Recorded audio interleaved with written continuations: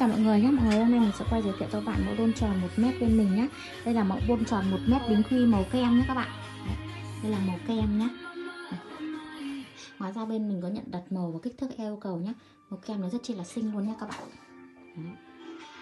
Các bạn thích màu nào bên nào mình cũng có nhận được nhé Đây là đường kính 1 mét nhé các bạn. Mình sẽ quay xung quanh các bạn xem.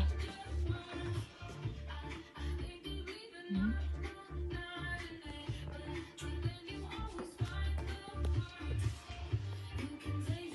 Bạn thích tư vấn về màu sắc hay kích cỡ nào thì các bạn cứ nhắn tin cho shop nhé. Nên mình sẽ hỗ trợ nhắn tin và tư vấn cho các bạn nhé. Rồi mình cảm ơn các bạn.